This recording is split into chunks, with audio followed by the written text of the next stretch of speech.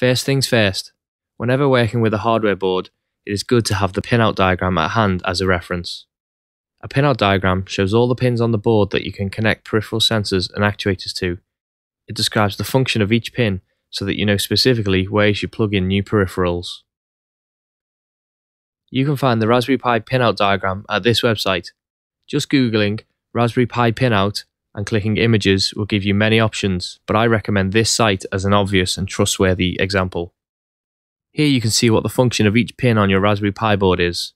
There are pins for power and ground to complete circuits, but also pins for GPIO, PWM, I2C, SPI, and UART, which are different communication protocols.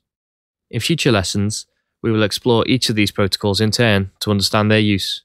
For now, it is good enough to understand that each pin has a function and the sensors or actuators you connect to your Raspberry Pi will need to connect to specific pins.